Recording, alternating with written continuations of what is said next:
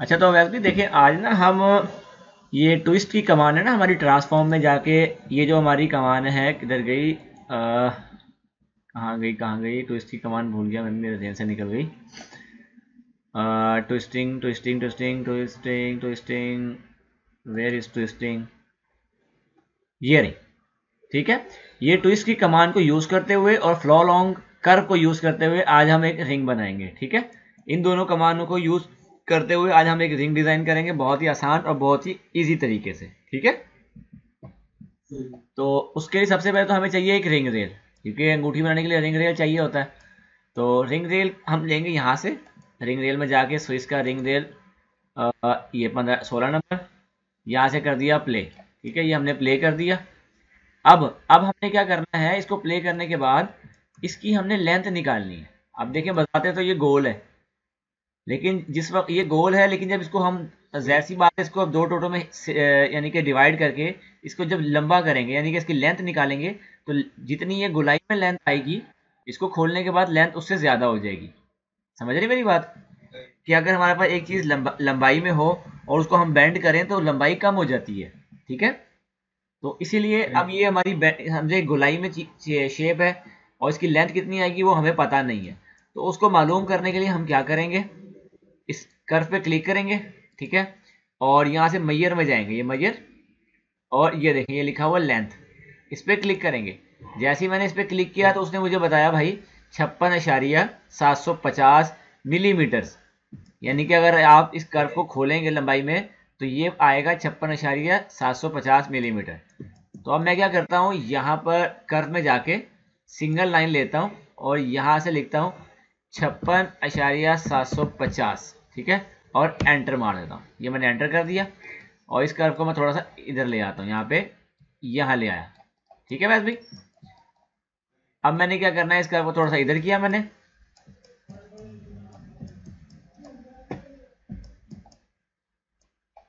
अब मैंने क्या करना है? यहाँ पे एक ये देखे रेक्टेंगल इसको लिया और यहाँ से सेंटर बना लिया इसका। ठीक है? साइड व्यू में गया और साइड व्यू में जाके मैंने यहाँ पे सेंटर लिखना है। दो एम एम नहीं sorry two point five enter two point five enter ये आ गया मेरे पास, ठीक है? अब मैं क्या करता हूँ, इसके सेंटर में एक लाइन लेता हूँ, यहाँ पे ऐसे और एक यहाँ पर ऐसे. इन दोनों को सिलेक्ट किया, उसके बाद ये है मूव की कमांड इस पर क्लिक किया, इसका मिड पॉइंट पकड़ा और यहाँ पे लगा दिया आके ठीक है? ये हमारा बिल्कुल देखने लग गया यहाँ पर. बिल, बिल्कुल मिड में लग गया इसके ओके इसका मैं कलर चेंज करता हूँ यहाँ से रेड कलर ठीक है? ये रेड कलर मेरा आ गया। अब हमने क्या करना है? यहाँ से इसको लेके, इस वाली कर्व को लेके सरफेस में जाते हैं सिलेक्ट करके। ये देखें एक्सट्रूड सरफेस एक्सट्रूड और इस पर क्लिक करते हैं, इसको स्ट्रेट करते हैं। ये स्ट्रेट हमने किया यहाँ तक, ठीक है? यहाँ तक स्ट्रेट किया इसको और इसको मैंने प्लास्टिक व्यू लिया अब हमने क्या करना है? इस कर्व को दोनों को लिया डुप्लीकेट में पकड़ता हूँ एंड पॉइंट और एक को दोनों को यहाँ पर लगा देता हूँ। यहाँ एंड पॉइंट जी जी। जी जी। जी जी, बिल्कुल है। अच्छा तो अब ये देखिए, अब सरफेस को हमने सेलेक्ट किया। ठीक है? अब यहाँ से ट्रांसफॉर्म में गए। सेकेंड विंडो में आए। ये ट्विस्ट की कमांड इसको क्लिक किया। एक पॉइंट यह मिड में रखा। दूसरा पॉइंट हमने यहाँ पर रखा। उसके बाद साइड व्यू में गए शिफ्ट दबाया और उसके बाद लेफ़्ट क्लिक दबाया और इसको ऐसे ट्विस्ट कर दिया हमने। ठीक है? अब मैं तो ट्विस्ट घुमा रहा हूँ ना, अब आपकी मर्ज़ी है, यहाँ पे आप एंगल भी लिख सकते हैं, जो आपका दिल करे, जैसे कि मैं 180 लिख देता हूँ और आपको दिखाता हूँ। 180 एंटर तो देखिए, मैंने 180 डिग्री के एंगल में इसको किया तो ये देखें, ये हमारा ट्विस्ट हो गया। देख रहे हैं? मैं इसको कंट्रोल जी करता हूँ। और दोबारा से ट्विस्ट की कमान पकड़ता हूँ, एक पॉइंट यहाँ पे रखता हूँ, दूसरा पॉइंट मैं यहाँ पे रखता हूँ, ठीक है?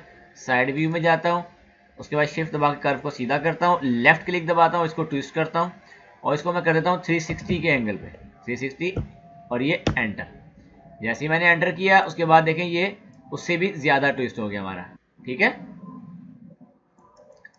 समझ आ रही है आपको मेरी बात? अब मैं इसको यहाँ पे ऐसे यहाँ पे ले आता हूँ। ठीक है? अब हमने क्या करना है? अब हमने ये देखें, पहली विंडो सॉरी सेकंड विंडो अब यहाँ पे ये है फ्लो लॉन्ग कर्व इस पर मैंने क्लिक करना है। फ्लो लॉन्ग कर्व पे मैंने क्लिक किया। उसके बाद लिखा हुआ select object to flow along curve अब ये मेरा ऑब्जेक्ट है, ठीक है? मैं इस पर क्लिक करता हूँ। अब वो पूछ रहा है select object to flow along curve इसको आप एंटर मारें। आपने राइट क्लिक कर दिया। अब वो पूछ रहा है बेस कर्व आपका बेस कर्व कौन सा है जिसके ऊपर आपने ये बनाया है? वो हमारा ये रेड वाला कर्व है जो इसके अंदर मौजूद है ठीक है? ये वाला। अब मैं इस पर क्लिक करता हूँ। जैसे मैंने इस पर क्लिक किया अब वो मुझसे पूछ रहा है टारगेट कर्व भाई वो कर्व बताओ टार... हाँ जिसके ऊपर हमने इसको अप्लाई करना है वो वाला कर्व कहाँ है? वो हमारा इधर है ये वाला। तो मैं अब इसके ऊपर क्लिक करूँगा। जैसे मैंने इस पर क्लिक किया तो ये देख। ये यहाँ से हमारी इसके ऊपर यहाँ पर इजीली आ चुकी है ठीक है? अब मैं अगर कंट्रोल जी करता हूँ एक दफ़ा यहाँ से राइनो हिस्ट्री खोलता हूँ। और उसके बाद दोबारा से फ्लो लॉन्ग कर्व ये सरफेस राइट क्लिक यहाँ से रेड वाला बेस कर्व उसके बाद ये टारगेट कर्व तो ये देखिए यहाँ पे मेरा आ गया। अब मैं अगर इसको यहाँ लेके जाऊँगा तो ये मेरा कर्व यहाँ पे आ जाएगा। ठीक है? अब मैं अगर इसको कोई भी पॉइंट दे के जैसे मैं इसको पॉइंट देता हूँ, ठीक है? इसको यहाँ से मैंने ये वाले पॉइंट दे दिए। ठीक है? ये मैंने, चंद एक पॉइंट ये तो सॉरी यहाँ पे आ गए। केज एडिट में जाके मैं इसको यहाँ से bounding box C plane right click right click उसके बाद मैं ये वाले पॉइंट देता हूँ इसको, ठीक है? ये पॉइंट दिए और मैंने इसको यहाँ से ऊपर उठा दिया। तो जैसे मैंने ऊपर उठाया, देखिए यहाँ से भी ये इसकी लेंथ बढ़ गई, ठीक है? ये देखें। ये देख रहे हैं? इसको अगर मैं इधर करूँगा तो ये देखें, इधर की तरफ़ आएगा ये। देख रहे हैं? तो मैं राइट क्लिक करता हूँ, फिर राइट कंट्रोल जी फिर कंट्रोल जी फिर कंट्रोल जी ठीक है?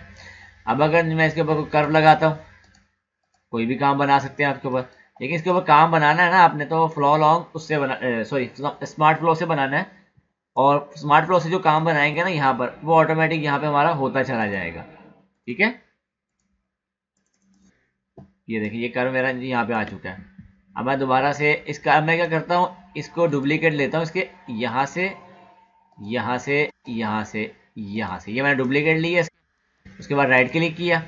और यहाँ से गया पाइप में। ये पाइप शेप यहाँ से डायमीटर पे क्लिक किया, मैंने यहाँ पे लिखा पॉइंट सेवन पॉइंट सेवन लिखा तो ये देखिए मेरे पॉइंट सेवन की वायर लग के यहाँ पे आ चुकी है। ठीक है पॉइंट सेवन की वायर मेरी लग चुकी है। इसको मैं ऐसे करता हूँ डिलीट और यहाँ से जितनी भी वायर है, इनको मैं देता हूँ, एक कलर देता हूँ, यहाँ से मैं, जैसे कि रेड कलर ये मैंने रेड कलर दे दिया इनको यहाँ पे, ठीक है? और उसके बाद मैंने क्या करना है, यहाँ पर स्टोन सेटिंग करनी है, यहाँ से यहाँ तक। इस सरफेस पे क्लिक किया F6 दबाया जेम ऑन सरफेस उसके बाद यहाँ पे गए और e दबाया। E से हमारा स्टोन का साइज़ बड़ा होगा। ये मैंने e दबाया और एक यहाँ पे स्टोन लगाया। एक स्टोन मैंने यहाँ पर लगा दिया, ठीक है? उसके बाद एक स्टोन स्टैटिंग मैंने यहाँ पर कर दी। उसके बाद एक स्टोन मैंने यहाँ पर लगाया। फिर एक स्टोन मैंने यहाँ पर लगाया।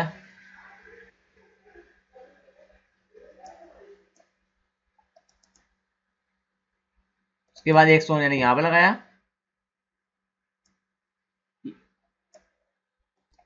तो ये देखिए, हमारी ये स्टोन सेटिंग हो गई यहाँ पे। अब आपने यहाँ पे इस पे कटर लगाने, ठीक है? कटर कैसे लगाने वो तो आपको पता ही है। उसके बाद दोबारा सरफेस पे क्लिक किया, फिर राइट क्लिक किया तो मेरे पास स्टोन यहाँ पे आ गए। फिर अगला स्टोन मैंने यहाँ पर लगाया। फिर एक स्टोन मैंने यहाँ पर लगाया। फिर उसके बाद एक स्टोन मैंने यहाँ पर लगाया। और उसके बाद एक स्टोन मैंने यहाँ पर लगाया। ठीक है? ये स्टोन मेरे यहाँ पर लग गए। समझ आइए वैसे भी बात ये स्टोन मैंने यहाँ पर इजीली लगा लिए ठीक है? अब आप इसके अंदर कोई भी अपनी मर्ज़ी का काम करना चाहें, वो इजीली कर सकते हैं। जैसे कि मैं ये स्टोन पकड़ता हूँ, इनको करता हूँ ग्रुप ये रोटेट पकड़ता हूँ एफ़ फोर दबाता हूँ, यहाँ से रोटेट कॉपी शिफ्ट दबाया और इसको मैं स्टोन को यहाँ ले आया, ठीक है? अभी देखिए मेरे स्टोन कितने इजीली यहाँ पे लग चुके हैं यहाँ पे, ठीक है? ये देखिए। तो देखा आपने ये स्टोन जो मैंने कैसे रोटेट कॉपी करके यहाँ पे इजीली लगाए अपने, ठीक है? ये समझ आइए आपको मेरी बात? ठीक है? तो अब इसी तरह से आप यहाँ ट्विस्ट के ऊपर कोई भी काम बना सकते हैं। ज़रूर नहीं या मैंने जैसे रेक्टेंगल बनाया, या बताया आपको। तो ट्विस्ट के ऊपर आप कोई भी काम बना सकते हैं। जैसे कि यहाँ पे कोई बैंगल बना सकते हैं। बैंगल बना के इसके ऊपर अप्लाई कर सकते हैं। या कोई भी चीज़ आप इजीली इसके ऊपर यहाँ पे अप्लाई कर सकते हैं। ठीक है?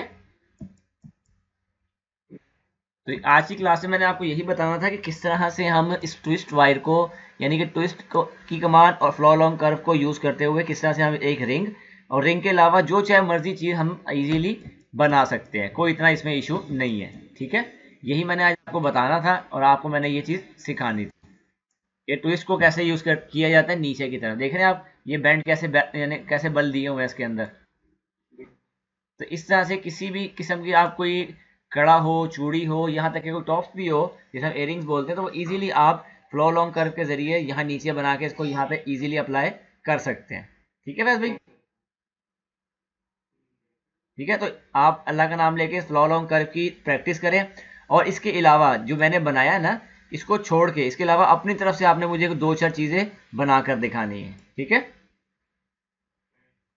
चले, ठीक है, इसकी आप प्रैक्टिस अल्लाह का नाम लेके आप इसकी प्रैक्टिस करें, ज़्यादा से ज़्यादा। जितनी हो सके, मैंने तो यहाँ वायर लगाई है ना, आप यहाँ पे रवे भी लगा सकते हैं, या वाटवा भी लगा सकते हैं, जैसे हम हिलेक्स बोलते हैं। ठीक है? और यहाँ जब मैंने चौरस बनाया, आप यहाँ पे कोई भी शेप बना सकते हैं सरू की शेप बना सकते हैं। गोल बना सकते हैं, जो आपको ईजी लगे। ठीक है बस भाई? तो ठीक है, आप इसकी अल्लाह का नाम लेके प्रैक्टिस करें और फिर मुझे उसके बाद दिखाइएगा। ठीक है बस भाई? चलें ठीक है बस भाई? ओके ओके अल्लाह हाफिज़।